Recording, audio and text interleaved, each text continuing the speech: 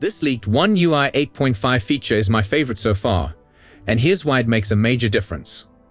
It could be the largest upgrade in multiple generations of One UI or perhaps Samsung's prior TouchWiz. Samsung's One UI is undoubtedly the most meticulously themed custom Android skin available. This is because Samsung is the only manufacturer creating Android smartphones that goes to the extent of rebuilding every menu and submenu, including the often neglected digital well-being dashboard. With the upcoming One UI 8.5 design, Samsung could be poised to make significant changes to an interface that has largely remained untouched for the past two generations. Some of these changes are contentious and could spark a renewed comparison between iOS and Android. However, one feature I am particularly excited about is the anticipated overhaul of the quick settings screen. According to leaks, One UI 8.5 is expected to embrace Android 16's extensive customization options for quick settings, infused with additional innovations. Even prior to the release of the One UI 8.5 beta, I am genuinely hoping this option becomes a reality, as I believe it could represent a substantial enhancement beyond mere aesthetic appeal compared to previous iterations of the One UI panel.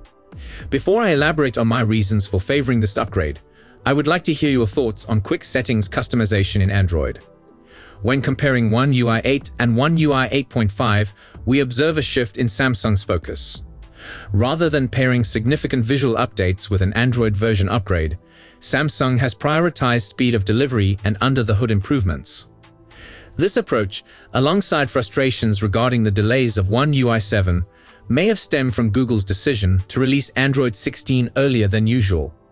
Consequently, One UI 8 was launched shortly after Google released Android 16 for Pixel devices, effectively reversing the impact of the prolonged One UI 7 rollout that upset many Samsung users. Additionally, the timing of the mid-cycle update, which historically coincided with the launch of foldable devices each year, has also been moved up by six months. As One UI 8 carries the burden of upgrading the Android version, the next release is likely to introduce substantial modifications to the interface. While One UI 8.5 has not yet been officially confirmed, leaked builds suggest considerable changes are on the horizon. Alongside fundamental upgrades and new privacy features, Samsung places a strong emphasis on visual modifications in One UI 8.5.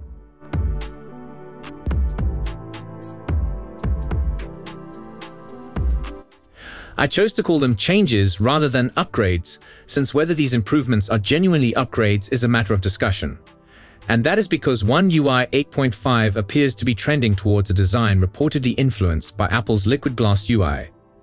I'm delighted it's not an obvious rip-off of iOS 26, as is the case with some Chinese manufacturers' current UI based on Android 16.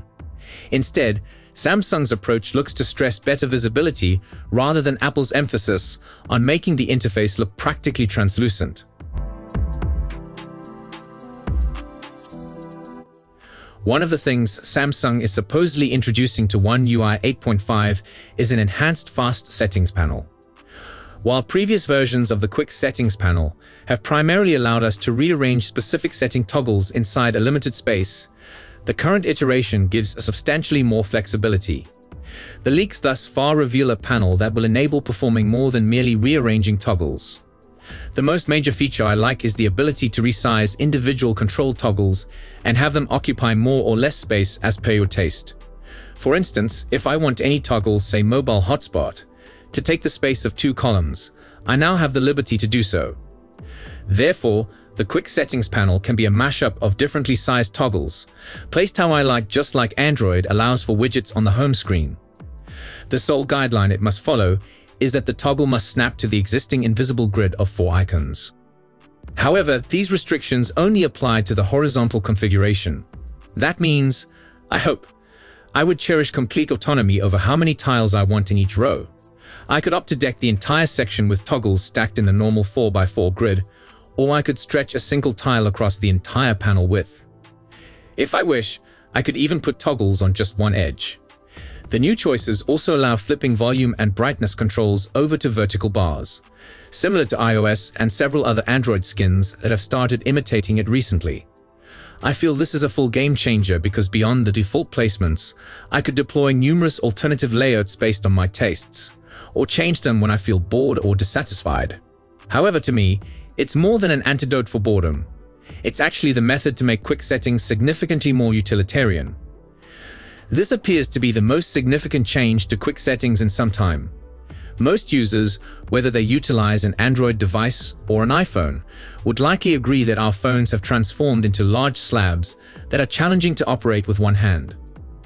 Several sections of the interface, particularly in Android skins, have moved closer to the bottom, allowing for simple functions to be performed without requiring both hands. Even elements that remain unchanged, such as the home screen, now offer greater flexibility in positioning icons nearer to the bottom of the screen. Until recently, there was no such option available for quick settings in Android, making the recent change in Android 16 particularly noteworthy. With One UI 8.5 likely to introduce similar features, Samsung users should soon benefit from this enhancement. This is especially relevant considering that Android 16, despite providing an option to resize tiles, does not permit empty space, a limitation that One UI 8.5 should not impose. As I mentioned earlier, the primary advantage I foresee from this update is the ability to arrange the settings toggles for easier access with one hand. After the update, I plan to position my most frequently used tiles, such as mobile hotspot, screen recording, extra dim, and sleep mode, towards the bottom right for easy reach. To occupy space on the left side, I intend to either use larger tiles that take up more room or position them in the second column from the left. This way, I can still access them without having to aim precisely with my thumb. Additionally, since the volume and brightness sliders can also be organized into a more compact layout, I plan to place them within easy reach of my thumb. Another significant change is that One UI 8.5 no longer requires quick settings toggles to be confined within a container, though one may still opt to use a container for certain icons. While Samsung intends these containers for more prominent icons, I would prefer to use them for the less critical ones and position the more frequently used icons outside, at the bottom of the page. In doing so, I might even enjoy experimenting with shapes, much like we did with early emoticons during the SMS era, bringing a fresh and visually appealing element to the quick settings page.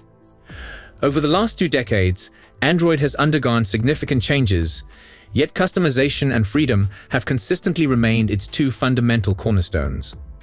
Unfortunately, the latter is currently under threat due to Google's inclination to restrict sideloading, although customization itself hasn't suffered greatly, especially considering the declining popularity of custom ROMs.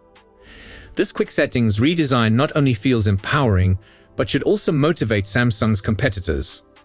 However, it is important to note that while these features appear promising, Samsung may still choose to remove them before the final release early next year. I would be disheartened if that were to happen, but that is the nature of beta updates. We as users have little influence over the features that companies decide to include or exclude from their betas. Nevertheless, I remain hopeful that Samsung will implement the revised panel in One UI 8.5 not only because it surpasses what standard Android offers, but also because it would represent the most comprehensive quick settings panel among all Android skins. Here, I wish to reaffirm my belief that One UI is the most meticulously tailored Android skin, far superior to many blatant iOS imitations that we have grown accustomed to seeing. However, the delay of the Galaxy S26 series will inevitably affect Galaxy S25 users. Owners of this year's flagship devices will have to endure a longer wait for the UI updates and new features that Samsung is preparing for the One UI 8.5 release. So that's all for today's video. If you enjoyed it, don't forget to hit the like button and subscribe to our channel for more exciting updates on the latest technology. Thanks for watching.